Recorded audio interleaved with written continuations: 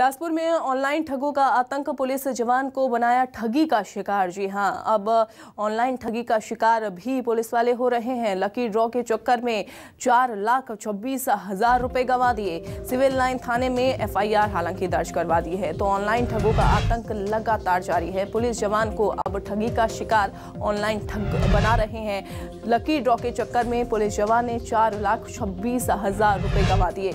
Civil line थाने में हालाँकि police जवान ने केस दर्ज करवा दिया है।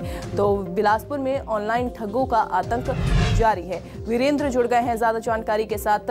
वीरेंद्र कैसे पुलिस जवान को ठगों ने यहाँ पर ठगी का शिकार बना लिया?